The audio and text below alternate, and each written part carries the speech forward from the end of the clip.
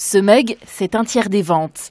Désormais, chaque parent peut avoir ses affaires à l'effigie du dessin de son enfant. C'est grâce à un outil informatique sophistiqué capable de générer des milliers d'articles uniques. Parce que quand on imprime sur un porte-clés le dessin d'un enfant, c'est pas la même chose que sur un set de table.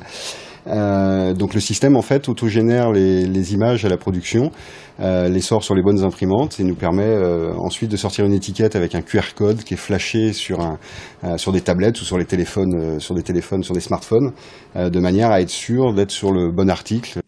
En pratique, les associations de parents d'élèves ou écoles ont seulement besoin d'envoyer les dessins des enfants.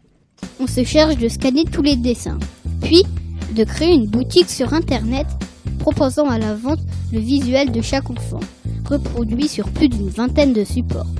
garantir aux écoles qu'elles n'ont aucun risque. Même les dessins, quand elles nous les envoient, euh, c'est au travers d'une enveloppe euh, pré-timbrée. C'est nous qui payons le timbre. Donc en fait, on réceptionne les dessins, ça leur a rien coûté, et puis surtout on produit à la commande. Donc euh, il n'y a aucun risque d'invendu, aucun risque d'impayé, et surtout pas d'argent à gérer pour les écoles.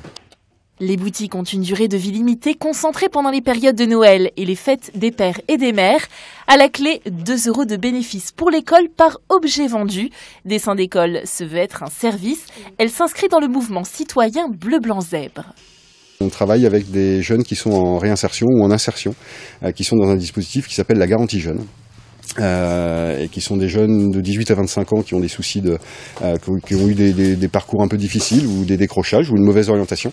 Et euh, on leur propose de venir travailler avec nous pour découvrir ce que c'est qu'une période de production et comment fonctionne une petite entreprise, une TPE comme la nôtre. Dessin d'école lancera prochainement un financement participatif sur KissKissBankBank. Il s'agira de réunir des fonds pour l'achat d'un véhicule nécessaire aux employés, mais aussi et surtout de faire connaître l'entreprise.